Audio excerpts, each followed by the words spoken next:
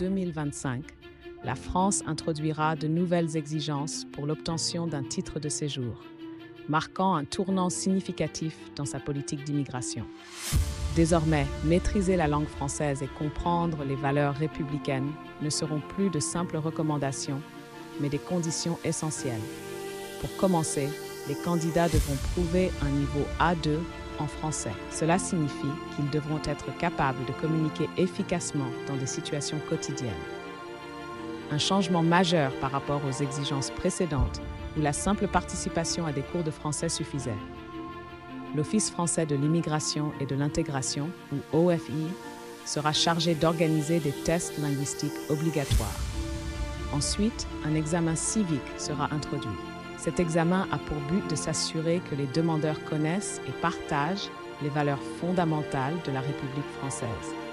Cela vise à favoriser une meilleure intégration et à renforcer le sentiment d'appartenance à la communauté nationale. L'OFII ne se contente pas d'organiser ces examens, il joue également un rôle clé dans l'accompagnement des candidats tout au long de ce processus exigeant. Son directeur général, Didier Léchy, a récemment proposé d'étudier d'autres critères inspirés de pratiques internationales pour renforcer encore ces exigences. Ces nouvelles conditions représentent un défi pour de nombreux candidats.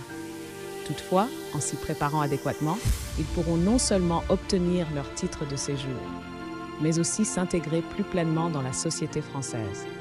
Comprendre et anticiper ces changements est crucial pour réussir cette transition.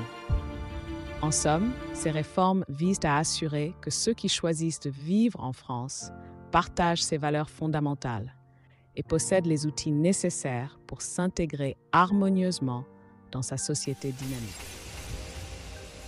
Merci de bien vouloir activer la cloche et de cliquer sur j'aime.